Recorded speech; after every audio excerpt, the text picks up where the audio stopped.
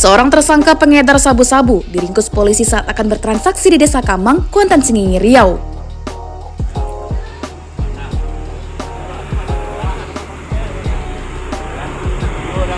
Bima Pratama tak berkutik saat ditemukan dua paket sabu-sabu siap edar di sakunya.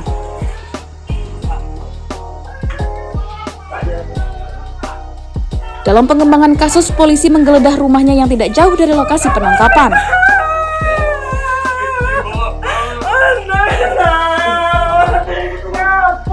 Polisi kembali menemukan dua paket sabu-sabu yang disembunyikan di dalam kamarnya.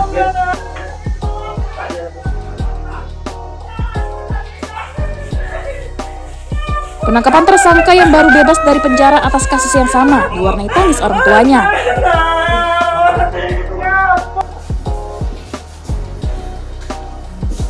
Tersangka mengaku mendapat barang terlarang itu dari temannya di Sejunjung, Sumatera Barat.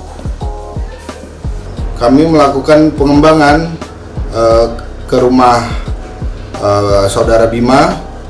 Tim Osnal menemukan satu botol uh, ada botol kaleng berisikan dua paket klip bening berisikan kristal diduga narkotika